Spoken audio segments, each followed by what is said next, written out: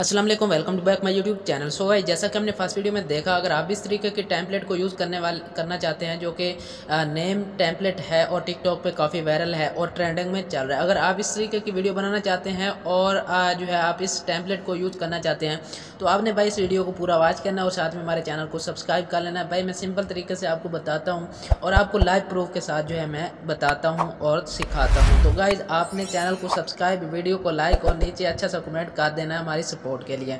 तो गाइज़ चले चलते हैं वीडियो की तरफ़। तो सबसे पहले तो आपने प्ले स्टोर से कैप कार्ड को इंस्टॉल करना है, ठीक है गाइज़ मैं इसको ओपन करता हूँ आपके सामने, ठीक है? यहाँ पर नीचे टेम्पलेट का ऑप्शन नहीं आ रहा। तो आपने क्या करना है गाइज़ सबसे पहले तो आपने बैग जाना है, ठीक है? इस पर लॉन्ग प्रेस करना है, ठीक है? ऐप इन्फो में चले जाना है या आप अपने मोबाइल की सेटिंग से भी कैप काट के ऐप इन्फो में जा सकते हैं। अगर आपका इस तरीके से जो है आता है तो आपने ऐप इन्फो में आना है और इसके स्टोरेज कैशी पे क्लियर कर देना है इन दोनों को, ठीक है? क्लिक करके इन दोनों को क्लियर करना है। उसके बाद आपने बैग जाना है, ठीक है? अब मैं यहाँ से इसको कैप कार्ड को ओपन करता हूँ। तो यहाँ पर साथ में आपका डाटा भी होना चाहिए इंटरनेट ऑन होना चाहिए, ठीक है? एक्सेप्ट का ऑप्शन आएगा, आपने इस पर क्लिक करना है, ठीक है? क्लिक करने के बाद गाइज़ आपके सामने थोड़ी देर में टैबलेट का ऑप्शन आता है, आपने इस पर क्लिक करना है। क्लिक करने के बाद आपने यहाँ पर लिखना है जो मैं आपको बताने वाला हूँ सेम आपने यही लिखना है। यहाँ पर आपने लिखना है टी आर ठीक है? A S I T I O N, ठीक है। यहाँ पर आपने ये लिखना है, आगे आपने स्पेस दे के बी ई ए टी लिखना है, ठीक है। यहाँ पर आपने कुछ इस तरीके से लिखना है T R A N S I T I O N space B E A T ठीक है। और उसके बाद आपने चार्ज के बटन पे क्लिक करना है। गाइज़ कुछ इस तरीके से आपके सामने ये नेम वाला जो है टेम्पलेट फास्ट पे आएगा, ठीक है। आपने इसको यूज़ करना है यूज़ करना तो आपको आता ही होगा। आपने इस पर क्लिक करना है, ठीक है फास्ट में आएगा, ठीक है। आपने इस पर क्लिक करके यूज़ टैबलेट पर क्लिक कर देना है।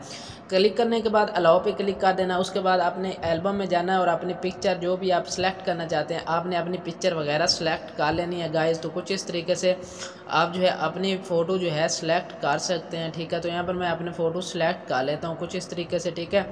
आपने भी अपने फ़ोटो जो है सेलेक्ट कर लेने हैं। तो आप आप देख सकते हैं नेक्स्ट पे क्लिक करेंगे गाइस तो कुछ इस तरीके से आपकी वीडियो जो क्रिएट हो जाएगी। उसके बाद आपने यूआर नेम आएगा, आपने अपना नेम लिखना है। क्या करना है? आपने एडिट टेक्स्ट पे क्लिक करना है।